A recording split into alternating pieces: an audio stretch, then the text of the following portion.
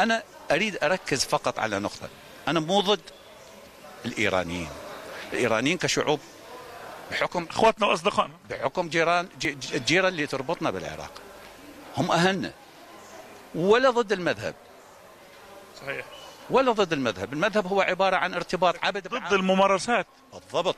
لكن أن- أنت تجي أول عمل تسويه تقر بأنه أنت أجريت ثورة وعليك أنه تصدرها إلى دول الجوار هذا تدخل سافر. هذا ما من حقك أنه أنت تجي تقنعني احتلال جزر آه، إماراتية. طبعا. هذا هذا هذا الاحتلال والتحكم في خمس عواصم عربية. مؤكد مؤكد. لحد الآن إلى حد قبل ثلاث أيام إذا جنابك سمعت التصريح روحاني. يعتبرون دول الخليج آه، تابعه لهم. خليج الفارس. بالضبط. لحد الآن يقول لك دول الخليج هي مالتنا تابعه لنا. وإحنا بإمكاننا استردادها في أي وقت نشاء. هذه العنجهية. لو ما طبعا أنا لو تسألني كباحث بهذا الموضوع ومتتبع أفرح جدا من أسمع تصريحاتهم هذه. لما؟ السبب أنه دي يكشفون نفسهم يوم بعد يوم. آه تصريحات كاشفة. بالضبط. وفاضحه بالضبط. يكشفون نفسهم يوم بعد يوم بحيث انهم بدا يخلون حتى العذر المتاح للدول اللي ممكن أن تصف إلى جانبهم.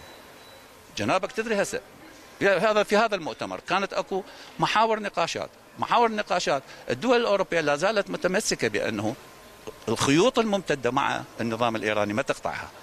لكن لما يجون ينقلوهم إلى الصورة الأخرى إلى التصريحات اللي تصير إلى التجارب ال- ال- الصواريخ إلى إلى عملية التمادي بالتهديدات إلى مدى يشوفوه من الواقع في في توجيه الصواريخ إيصال الصواريخ إلى اليمن وتسليمها للحوثيين وضربها إلى السعوديه وللإمارات والدول الأخرى.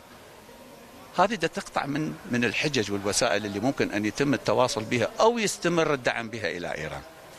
لهذا السبب أكون أنا فرحان بهذه التصريحات.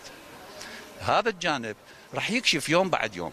نعم لو لاحظت جنابك البارحه بالبيان الختامي في مؤتمر وارشو كان نائب الرئيس مستاء جدا من من الموقف الأوروبي